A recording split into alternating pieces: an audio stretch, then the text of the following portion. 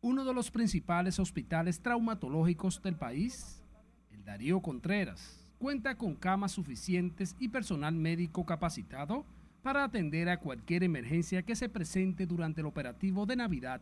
Desde ayer han estado asistiendo a quienes llegan por fractura por accidentes o por riñas. Para hacer frente a cualquier eventualidad con relación al feriado de Navidad. Pero los pacientes hablan de las atenciones que reciben en este centro público de salud. Lo que pasa es que nosotros a veces los, los pacientes somos que somos a veces nos ponemos impertinentes, algunos, yo no, yo tengo mi paciencia. Pero veo atención muy bien hasta ahora, gracias al Señor.